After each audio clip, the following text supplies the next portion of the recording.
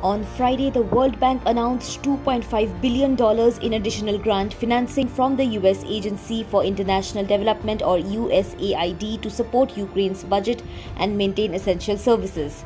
The latest funding under the World Bank's Public Expenditures for Administrative Capacity Endurance in Ukraine or PEACE project lifts the total to $20.6 billion and will support salaries in core government functions and sectors such as healthcare and education while allowing Kiev to pay pensions and support internally displaced people.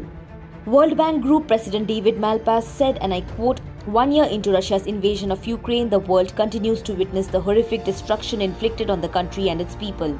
He said that $18.5 billion of the total funds mobilized had been disbursed, reaching more than 12 million Ukrainians. The additional financing was announced a day after US Treasury Secretary Janet Yellen said that Washington was preparing an additional $10 billion in economic assistance for Ukraine and called for the International Monetary Fund to pull together a loan program for Ukraine. According to reports, Ukraine is seeking a $15 billion multi year IMF package. The World Bank facilitated financing under the peace program is set up to minimize the risk of corruption. The World Bank transmits funds to cover Ukraine's expenditures a month after they are made once it has verified that the money has gone to the government employees, pensioners, and other recipients.